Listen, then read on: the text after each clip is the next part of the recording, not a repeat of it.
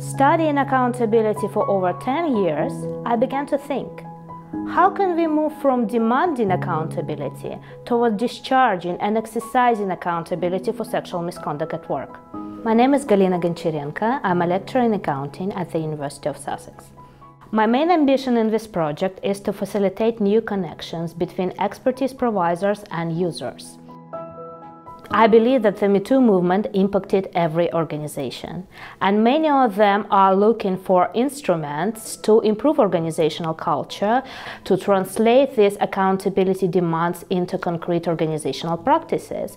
And for many of them, it is challenging because uh, sexual harassment it is still a very sensitive issue. It is a taboo issue in some organizations, and we show that there is a lot of practice available out there. Uh, there is psychological, legal advice, training, technology. So you could really choose what works for your organization. The project has attracted different partners at different stages. I collaborated with NGOs such as Survivors Network and uh, Consent Collective, uh, public sector organizations including Brighton and Hove City Council, uh, Sussex Police and the Pensions Regulator, and businesses, um, technology developers, uh, Vault Platform and Spot, um, psychology consultants, uh, Beat, and uh, solicitors. The project provides several webinars with experts, Survivors Network and the Consent Collective.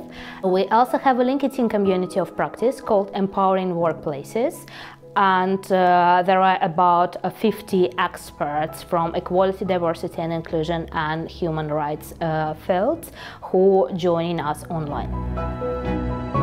Previously, before harassment reporting technology, organizations used to rely on anonymous hotlines and uh, reporting to HR.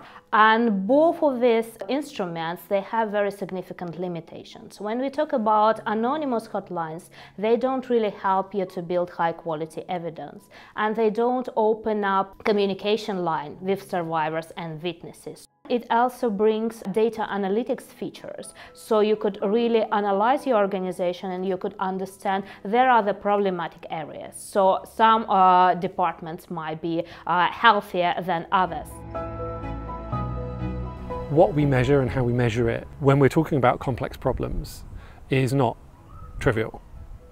And the mode of collection can really influence exactly what's used and that data that evidence can be put to different ends as well. And so one of the really interesting bits for this project to kind of carry on exploring is exactly how that evidence applies, what's surfaced in the data by the evidence that we present, and then what do we say that means. And one of the really challenging spaces for this technology organization kind of human systems overlap is technology is all very clear. You know, is or it isn't ultimately in everything. In, in digital technology, digital means it is or it isn't. It's one or zero. And humans don't work like that. Human systems don't work like that. Organizations don't work like that. I think that Galina's project will benefit all survivors, and I think that many survivors of sexual harassment in the workplace, I'd say the vast majority, um, at least who report, are women if we are in an environment where everybody is in competition, then it can be very challenging to put yourself out there and say something like this has happened to me in the workplace and I expect to be treated with respect and I expect this to be taken seriously. And I don't think the technology alone will help that, but I think having a system in place can make it a bit simpler to understand that actually if I record every time this happens and the date and the time, then that's going to give people a bigger picture of what's what's happening and make them realize that it's not just a a one-off thing or even if it was that that one-off thing was significant enough to be worthy of complaint.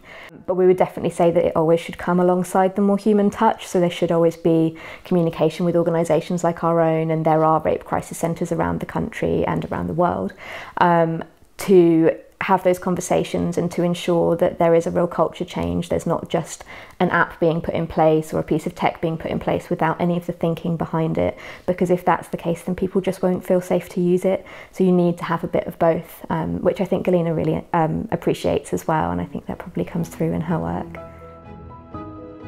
So technology is an instrument, but it cannot work without continuous improvement of organizational culture.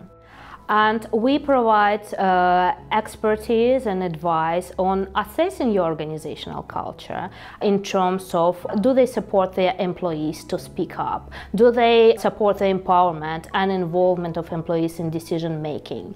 Because those employees who have support networks at work, they are less vulnerable to sexual harassment. And then it will pay back to organizations because if employees feel psychologically safe, they also uh, feel comfortable to innovate and uh, to talk openly with each other and contribute to the long term development and success of their organizations.